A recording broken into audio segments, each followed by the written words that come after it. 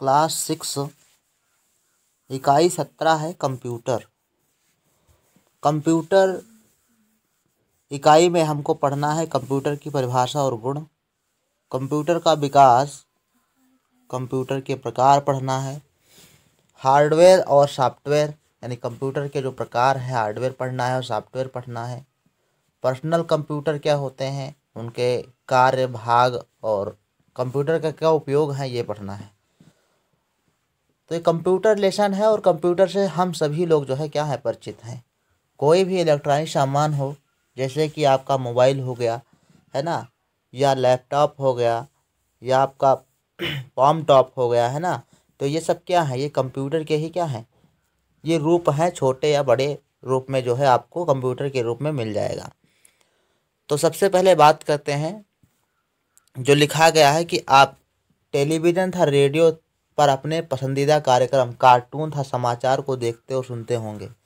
इसी प्रकार, आप अथवा आपके मित्र ने रेलवे प्लेटफॉर्म पर टिकट आरक्षण करते हुए भी देखा होगा, ने टिकट खरीदते हुए देखा होगा। उसके सामने बैठा एक व्यक्ति टेलीविज़न के आकार की मशीन को बार बार देखता है और प्लास्टिक के बटन को बार बार दबाता है। यानी जो कीबोर्ड होता है, कीबोर्ड सब लोग जानते हो ना, जिसमें और सारे बटन लगे होते हैं और आगे जो मॉनिटर होता है, जिसको, जिस पर स्क्रीन लगी होती है जिसको टीवी की भांति होता है, उसी को कहते हैं मॉनिटर है ना?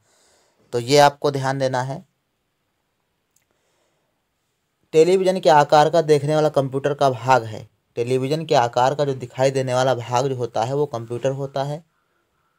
कंप्यूटर का एक भाग मॉनिटर है। क्या है? मॉनिटर है। तथा वह जिस बटन जैसी संरचना पर उंगली चला रहा होता है। वह कुंजी पटल यानी कीबोर्ड है।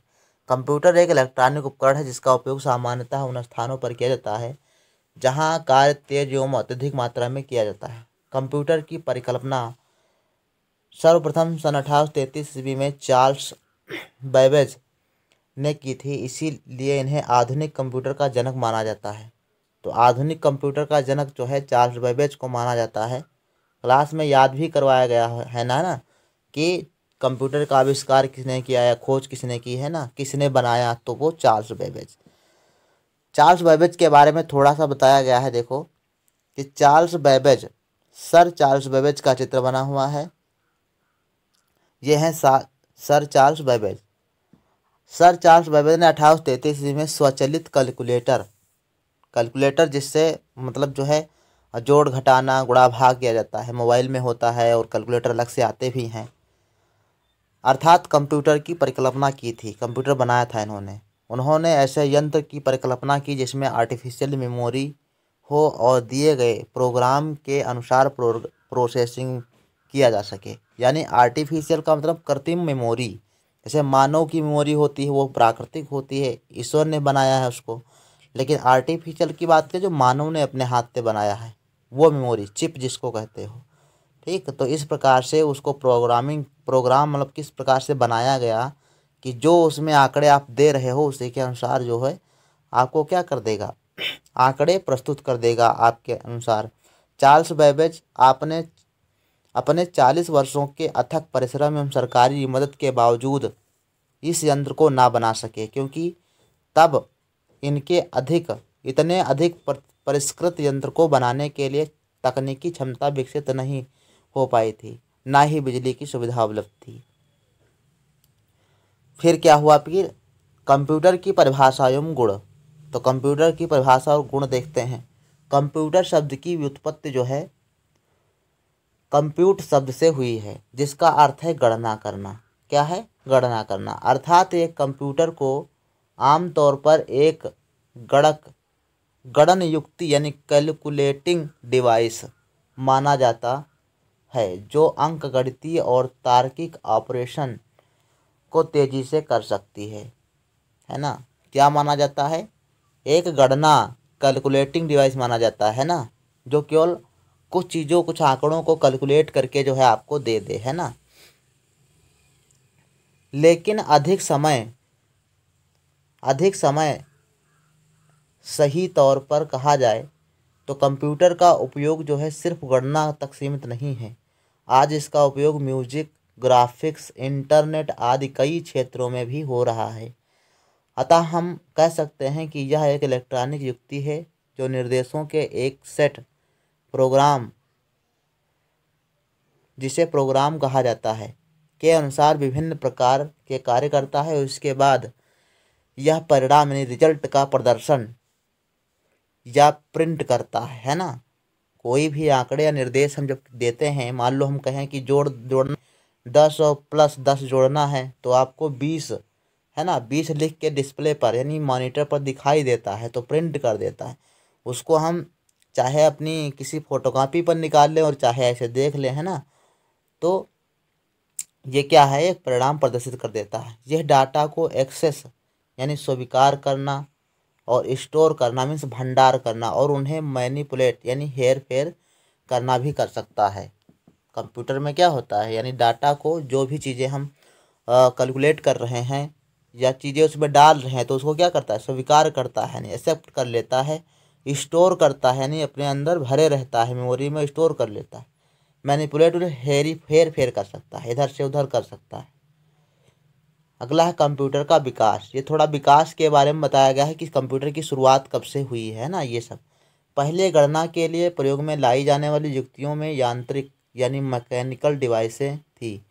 अबेकस को पहला कंप्यूटर कहा जाता है तो ध्यान रखना पहला कंप्यूटर का नाम क्या है? अबेकस अबेकस कंप्यूटर का पहला पहला पहला डिवाइस है ना। सबसे पहले कौन सा कंप्यूटर बना था तो नाम लिख देना अबेकस है पहला कंप्यूटर। और इसके बाद पास्कल, फिर लॉरेंस, फिर जैकब और एंटो सॉबेरी आदि के कई डिवाइसें बनाई, किंतु किसी भी डिवाइस में मेमोरी नहीं थी, ठीक? सत्रहवीं शताब्दी में चार्ल्स बेबेज ने एनालिटिकल और डिफेंस मशीन का आविष्कार किया था, उसमें मेमोरी को डाला, यानी कब? सत्रहवीं शताब्दी में। चार्ल्स बैबेज ने कंप्यूटर जो बनाया, उसमें मेमोरी इन्होंने लगाई। यानी जो मेमोरी चिप जिसको कहते हैं, वो लगाई इन्होंने। और उसमें जो है, उक्त मशीन, यानी ये सब है जो मशीनें हैं, मशीनों के आविष्कार से ही आधुनिक कंप्यूटर युग की शुरुआत हुई। बाद में आज के सभी कंप्यूटर में मेमोरी सबसे बड़ी विशेषता है। इसके बाद जो है थोड़ा सा जनरेशन के बारे में पढ़ेंगे। यानी जो जनरेशन होती हैं जनरेशन कहने का तात्पर्य क्या है? कि पहले, प्रथम बार में जो है, आपका 1945 से 1955 है ना?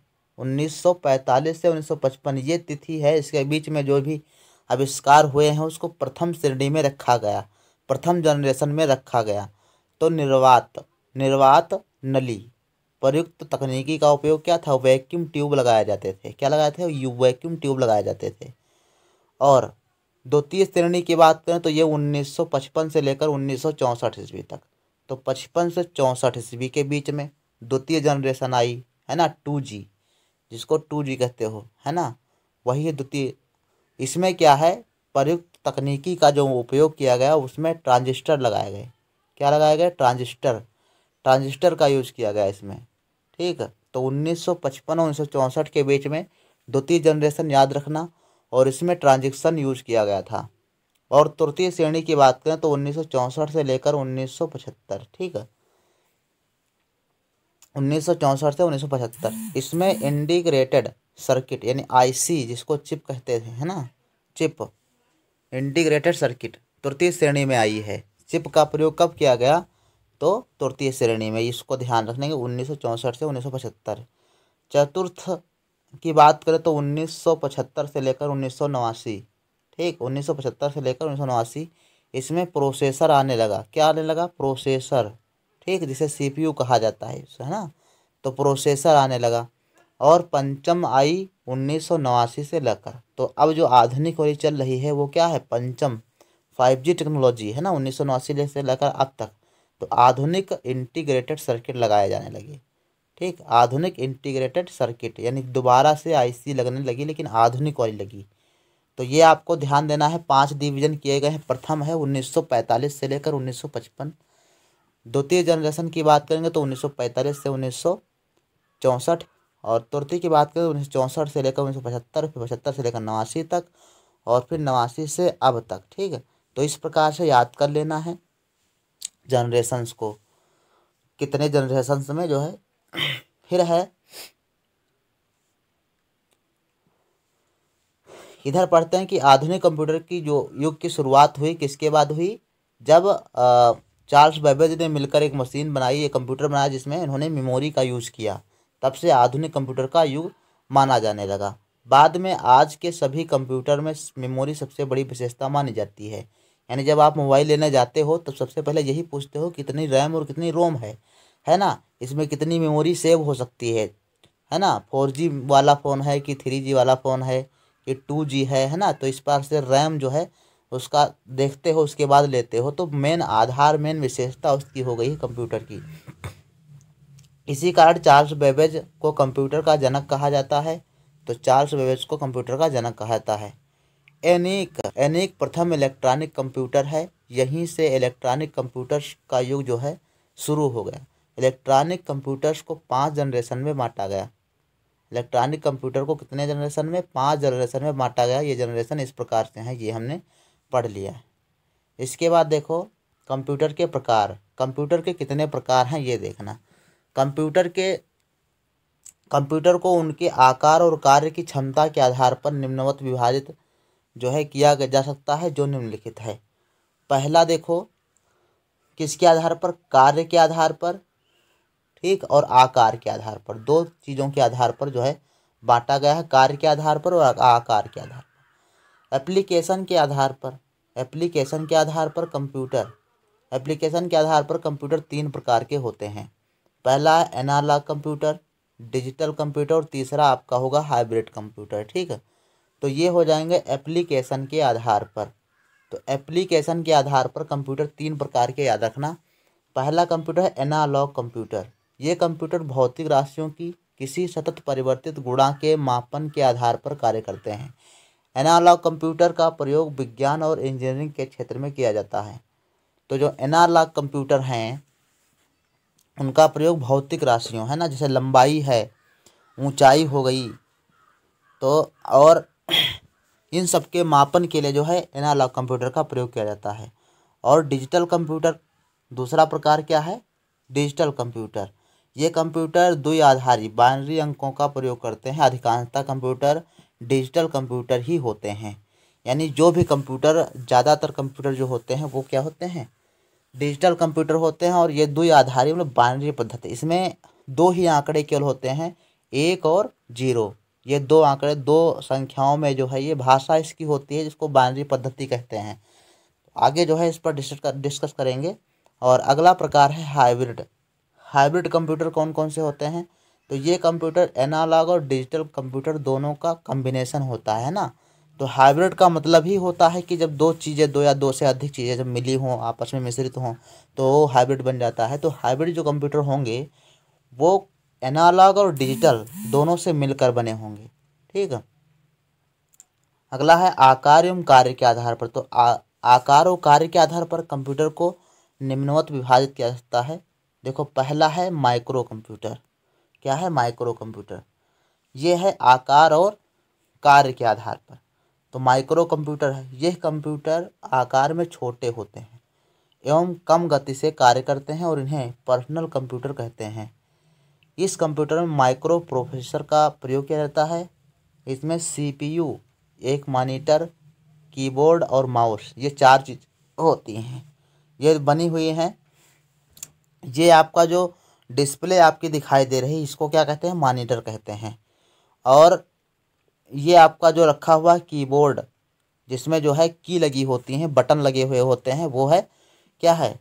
कीबोर्ड है। और दूसरा, जिसके द्वारा हम कर्सर को चलाते हैं ना कर्सर चलाते हैं, जैसे कि ये कर्सर तीर का निशान, वही कर्सर है, उसको चलाते हैं तो वो क्या है? माउस चूहा के भांति होता भी है, इसलिए उसको माउस कहते हैं। और ये वाला भाग देख रहे हो, ये है सीपीयू क्या है? सीपीयू है, यानी जिसको कहते हैं सेंट्रल प्रोसेसिंग यूनिट यानी कोई भी जो गणना करता है, गणना करने का कार्य क्या है? ये है। सीपीयू को दिमाग कहते हैं कंप्यूटर का। इसके बाद है मिनी कंप्यूटर। मिनी कंप्यूटर क्या है? मिनी कंप्यूटर, ये है माइक्रो कंप्यूटर का बड़ा था, अधिक क्षमता का होता है। जो माइक्रो कंप्यूटर है, ये बड़ा होता है तथा अधिक क्षमता का होता है और माइक्रो कंप्यूटर की तुलना में अधिक तेज़ी से कार्य करता है। माइक्रो कंप्यूटर से बड़ा और कार्य करने में अधिक अच्छा होता है। इनकी संगणक क्षमता भी अधिक होती है। ठीक है। मेनफ्रेम कंप्यूटर, तीसरा प्रकार क्या है? Mainframe computer. ये कंप्यूटर आकार में माइक्रो एवं मिनी कंप्यूटर से बड़े होते हैं और ये अति उच्च संग्रह क्षमता वाले बहुत बड़े कंप्यूटर होते हैं। इनका प्रयोग बैंकों, बड़ी कंपनियों एवं सरकारी विभागों में किया जाता है। तो मेनफ्रेम कंप्यूटर का जो प्रयोग है, वो कहाँ किया जाता है? बड़ी बड़ी कंपनियों में कहता है, बैंकों में कहता है तो वो मेन फ्रेम कंप्यूटर हो गए। ठीक? और है सुपर कंप्यूटर। तो सुपर कंप्यूटर की बात करें, ये कंप्यूटर सबसे बड़े आकार के होते हैं। ये कंप्यूटर तेज गति एवं अत्यधिक संग्राहक क्षमता वाले होते हैं। सुपर कंप्यूटर में अनेक सीपीयू होते हैं, जिसके कारण ये कंप्यू, कंप्यूटर दिए गए अन्य कंप्यूटरों से तेज गति से कार्य करते हैं। पहला, भारत का पहला सुपर कंप्यूटर कौन सा है? परम हंड्रेड, परम थाउज़ेंड, परम एक हज़ार। परम एक हज़ार भारत का पहला सुपर कंप्यूटर है। तो सुपर सुपर कंप्यूटर जो होगा, वो सबसे तेज़ चलेगा और सबसे बड़ा भी होता है, ठीक है? यानी फास्ट कार्य करेगा और उसमें क्या होता है सी पी यानी प्रोसेसिंग यूनिट होती हैं कई लगी होती हैं। तो इसलिए ये बहुत जल्दी कार्य करता है। इसके बाद आ जाओ, पढ़ते हैं हेडिंग है हार्डवेयर और सॉफ्टवेयर हार्ड हार्डवेयर और सॉफ्टवेयर ये क्या है? हार्डवेयर और ये सॉफ्टवेयर है ना? इसके बारे में देखो कंप्यूटर को मुख्यतः दो भागों में विभाजित किया जाता है हार्डवेयर और सॉफ्टवेयर तो हार्डवेयर और सॉफ्टवेयर दो भागों में और विभाजित किया सकता है। जैसे हार्डवेयर, कंप्यूटर के वह सभी पार्ट जिन्हें हम हाथों से छू सकते हैं, व देख सकते हैं, उन्हें हार्डवेयर कहते हैं। ये कंप्यूटर के यांत्रिक, वैद्युत व इलेक्ट्रॉनिक भाग हो सकते हैं। जैसे मॉनिटर है, सीपीयू है, स्पीकर है, की कीबोर्ड है, आदि को हार्डवेयर कहते हैं। कंप्यूटर में निम्नलिखित हार्डवेयर का प्रयोग करते हैं। पहला है इनपुट डिवाइस। इनपुट डिवाइस में जैसे आपका माउस हो गया है ना और लाइट पेन हो गया तो ये सब चीज़ें होती हैं इनपुट डिवाइस जिसके द्वारा हम किसी निर्देश को कंप्यूटर के अंदर भेजते हैं। तो वो क्या हुआ? Input device. आउटपुट डिवाइस जो बाहर दिखाता है हमको कोई चीज़, ठीक है? जैसे कि प्रिंटर आपका हो गया, आउटपुट डिवाइस है ना प्रिंट कोई भी निकाल लो बाहर, हार्ड कापी के रूप में। और डिस्प्ले, है ना? इसकी जो स्क्रीन होती है, वो क्या है? आउटपुट डिवाइस है। सेंट्रल प्रोसेसिंग यूनिट, सीपीयू जो रखा हुआ होता है, हृदय कंप्यूटर का तो ये है हार्डवेयर। क्या है हार्डवेयर? इसके बाद देखो, इनपुट डिवाइस। इनपुट डिवाइस क्या होते हैं? ये देखो, इनपुट डिवाइस के बताया बारे में बताया गया कंप्यूटर में जिन डिवाइस द्वारा निर्देश एवं डाटा को उपलब्ध कराया जाता है, इन्हें इनपुट डिवाइस कहते हैं। कंप्यूटर में अनेक प्रकार के इनपुट डिवाइस प्रयोग किए जाते हैं, जैसे keyboard, mouse, scanner touch screen, web camera, light pen आदि। कहने तात्पर्य यह है कि जिन यंत्रों के द्वारा, जिन मशीनों के द्वारा हम कोई भी निर्देश कंप्यूटर के अंदर भेजते हैं, है ना तो वो जो है इनपुट डिवाइस होता है। जैसे कि माउस है तो माउस से कर्सर चलाते हैं ना, और कीबोर्ड से हम अक्षर लिखते हैं, तभी तो वो हम जब लिखेंगे तभी वो कंप्यूटर जो है उसको समझ पाएगा कि ये कह, क्या क्या कहा जा रहा है, उसी के अनुसार आपको जो है चीज़ें प्रोवाइड करा करा देगा ये कंप्यूटर तो ये चीज़ें हैं। तो ये होगा इनपुट डिवाइस गला चलेंगे कि आउटपुट डिवाइस क्या होती हैं।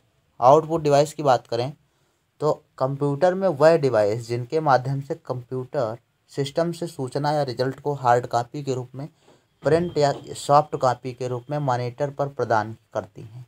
है ना? जैसे मॉनिटर है प्रिंटर है स्पीकर है और मल्टीमीडिया प्रोजेक्टर्स आदि। कंप्यूटर की स्क्रीन पर जो है, क्या है? कोई चीज़ हम बोल रहे हैं तो वो दिखाई दे रहा है। तो वो है आउटपुट डिवाइस। हमको आउटपुट दे रहा है। प्रिंटर आउटपुट निकालता है। स्पीकर हमको सुनाई देता तो क्या है? और इसी प्रकार से हम बात करें अगर जो माइक। माइक क्या है? माइक आपकी क्या है? इनपुट डिवाइस है। माइक के द्वारा हम किसी सूचना को अंदर भेजते हैं ना? बोलते हैं तो समझ जाता है कंप्यूटर क्या बोल रहे हो आप। इसके बाद है central processing unit. Central processing unit जो है, जिसको सीपीयू कहते हैं, सेंट्रल प्रोसेसिंग यूनिट कंप्यूटर का मस्तिष्क होता है। क्या लिखा है? मस्तिष्क लिखा है, दिमाग होता है।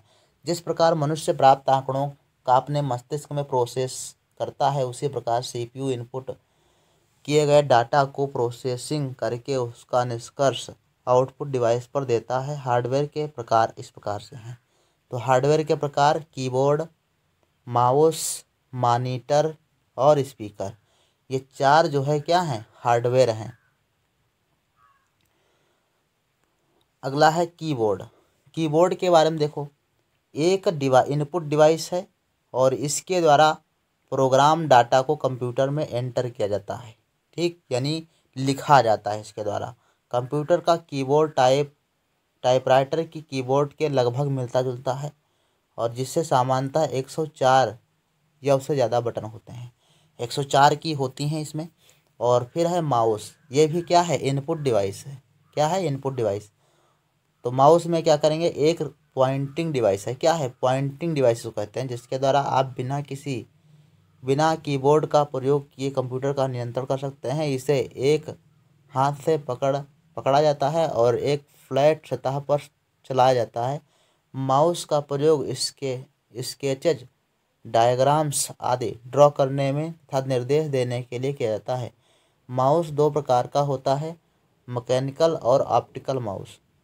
इसमें दो बटन होते हैं, लेफ़्ट एवं राइट, और तीसरा बटन स्क्रॉल बटन।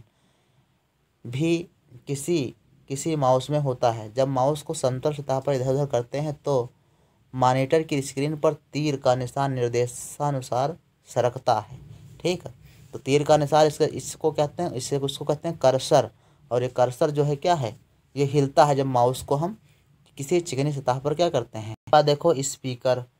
स्पीकर जो है, कंप्यूटर से गाना सुनने तथा पिक्चर देखने पर आवाज़ आती है इससे। वो स्पीकर के माध्यम से ही हम तक पहुँचती है। ठीक, जो भी आवाज़ कंप्यूटर से आती है, वो स्पीकर के द्वारा सुन पाते हैं। इसके बाद है मॉनिटर। दूरदर्शन के कार्यक्रम देखने के लिए टेलीविज़न का प्रयोग किया जाता है। ठीक उसी प्रकार कंप्यूटर से निष्कर्ष देखने के लिए मॉनिटर का प्रयोग किया जाता है। इसकी संरचना टेलीविज़न की सतह तरह होती है। सामान्यतः मॉनिटर दो प्रकार के होते हैं। सी आर टी और T T F T F T ये दो प्रकार के जो है मॉनिटर होते हैं। सॉफ्टवेयर, अब आ जाओ सॉफ्टवेयर पढ़ते हैं। इतनी इधर ये जो है, जो मॉनिटर आपका हुआ या माउस हुआ या कीबोर्ड हुआ या सीपीयू हुआ, ये सब क्या है? ये हार्डवेयर हैं। क्या है? हार्डवेयर हैं। और उनके अलग अलग भाग किए गए, जैसे इनपुट डिवाइस हो गया, आउटपुट डिवाइस हो गया, है ना? प्रोसेसिंग यूनिट हो गई, ये अलग अलग प्रकार के हो गए। अब पढ़ना है सॉफ्टवेयर। सॉफ्टवेयर क्या होता है? विभिन्न प्रोग्रामों के समूह को सॉफ्टवेयर कहते हैं। यह ध्यान देना, विभिन्न प्रोग्रामों के समूह। विभिन्न प्रोग्रामों के समूह को क्या कहते हैं? सॉफ्टवेयर कहते हैं। निर्देशों का एक सेट, जो एक विशेष कार्य करता है, प्रोग्राम या सॉफ्टवेयर प्रोग्राम कहलाता है। प्रोग्राम के निर्देश कंप्यूटर को इनपुट कार्य करने, डाटा को प्रोसेस करने तथा रिज़ल्ट को आउटपुट करने के लिए निर्देशित करता है। जिस प्रकार मनुष्य किसी कार्य को करने के लिए वस्तुओं को आँखों से देखता है, कानों से सुनता है तथा नाक से सूंघता है, तत्पश्चात वह अपने मस्तिष्क में उन विचार उन पर विचार करता है। विचार करने के बाद उसका उत्तर देता है। ठीक उसी प्रकार कंप्यूटर भी कार्य के लिए उस डेटा को कीबोर्ड, माउस, स्कैनर आदि के माध्यम से लेता है। तत्पश्चात सीपीयू उनका प्रोसेस यानी क्रियान्वयन करता है। प्रोसेस करने के बाद उनका उत्तर मॉनिटर पर जो है दे देता है। तो ये होगा सॉफ्टवेयर की बात। अगला क्वेश्चन है, पर्सनल कंप्यूटर के भाग एवं कार्य। पर्सनल कंप्यूटर के भाग एवं कार्य। तो पर्सनल कंप्यूटर को तीन भागों में बांटा जाता है। डेस्कटॉप कंप्यूटर लैपटॉप और पॉमटॉप ये तीन प्रकार के क्या हैं? ये पर्सनल कंप्यूटर है। पर्सनल का मतलब व्यक्तिगत रूप से जो रखे जाते हों, है ना? जैसे हमको कोई कार्य करना है, अपने पर्सनल कार्य के लिए हमने एक लैपटॉप ले लिया तो पर्सनल कंप्यूटर डेस्कटॉप हो गया तो डेस्कटॉप में आपको ध्यान रखना है। इसमें चार चीज़ें होना बहुत ज़रूरी होता है, तब जाके कंप्यूटर का निर्माण होता है। मॉनिटर आपका हो जाएगा माउस हो जाएगा कीबोर्ड हो जाएगा और आपका प्रोसेसिंग सीपीयू हो जाएगा। ये चार चीज़ें डेस्कटॉप में होती हैं। तो पहला प्रकार जो बताया गया है, वो है आपका डेस्कटॉप क्या है? डेस्कटॉप कंप्यूटर पर्सनल कंप्यूटर के प्रकार हैं, भाग हैं। पर्सनल कंप्यूटर का सबसे ज़्यादा प्रयोग किया जाने वाला डेस्कटॉप कंप्यूटर है। यह एक ऐसा कंप्यूटर है, जिसे किसी मेज पर रखकर प्रयोग किया जाता है। इसलिए इसे डेस्कटॉप या डेस्कटॉप पीसी के नाम से जाना जाता है। पीसी का मतलब पर्सनल कंप्यूटर, ठीक है? और डेस्कटॉप मतलब डेस्क पर रख रख कर जो है कार्य किया जाता है। Laptop, computer. लैपटॉप को तो सब लोग जानते हैं ना, लैपटॉप क्या होता है? सबके लगभग जो भी काम करने वाले हैं तो लैपटॉप जो है अपना पर्सनल रखते हैं। तो लैपटॉप, कंप्यूटर जो है क्या होता है? लैपटॉप, कंप्यूटर वह होते हैं जिनको व्यक्ति अपनी गोद में रख कर कार्य करता है। यानी हम पास में रख लेंगे या डेस्कटॉप पर भी रख सकते हैं ना। यानी पोर्टेबल होता है, एक स्थान से दूसरे स्थान तक ले जाने में आसानी होती है। ठीक, ये साइज़ में बहुत छोटे होते हैं और इन कंप्यूटर्स को व्यक्ति एक स्थान से दूसरे स्थान तक आसानी से ले जा सकते हैं। इनमें पावर के लिए बैटरी और एसी विद्युत दोनों का प्रयोग किया जाता है। एसी का मतलब है डायरेक्ट करंट, है ना? मतलब चार्जर से जोड़ सकते हैं और बैटरी से भी चला सकते हैं। पॉम टॉप कंप्यूटर क्या होता है? ये देखिए। पॉम टॉप कंप्यूटर ये देखो, लिखा है ये टैबलेट, ये कंप्यूटर लैपटॉप कंप्यूटर से छोटे होते इनको हथेली पर रखकर चलाया जाता है तथा व्यक्ति अपनी जेब में रख सकता है। आजकल मोबाइल में भी ये सुविधा उपलब्ध होने लगी है। पॉम टॉप कंप्यूटर में कैलकुलेटर के समान बटनों वाली कीबोर्ड होता है। बटनों वाला कीबोर्ड होता है और एक छोटी स्क्रीन होती है। यह बैटरी से चलाया जाता है तो पाम टॉप हुआ। इसके बाद पर्सनल कंप्यूटर के मुख्य कार्य। पर्सनल कंप्यूटर के मुख्य कार्य क्या हैं? पहला कार्य दिया गया है कि निम्नलिखित। इनका प्रयोग इंटरनेट के उपयोग के लिए जो है किया जाता है। दूसरा है शब्द एवं गणनाओं का प्रयोग करने के लिए किया जाता है। तीसरा है प्रेजेंटेशन बनाने का काम किया जाता है। प्रेजेंटेशन मतलब कोई भी कार्य करना है, अपना वो बनाने के लिए उसका कार्य किया जाता है और बच्चे गेम खेलने में इसका प्रयोग करते हैं। सांख्यिकी गणना का कार्य भी पर्सनल कंप्यूटर द्वारा प्रयोग किया जाता है और सॉफ्टवेयर निर्माण करने में भी पर्सनल कंप्यूटर का प्रयोग किया जाता है और सेल्स तथा प्रोडक्शंस कंट्रोल करना ये प्रमुख कार्य इसके होते हैं। अगला मुख्य भाग की बात करेंगे तो मेमोरी है। क्या है मेमोरी? मेमोरी या स्मृति कहते हैं इसको, कितने मेमोरी है है ना? तो मेमोरी सब लोगों को पता होगा मेमोरी क्या होती है। यह किसी भी डेटा को स्थायी या अस्थायी रूप से संग्रहित करती है। संग्रहित करने का मतलब क्या है? इकट्ठा करती है, स्टोर करती है। यह मुख्य दो प्रकार की होती है।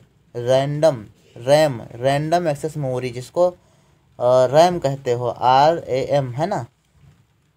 रैम।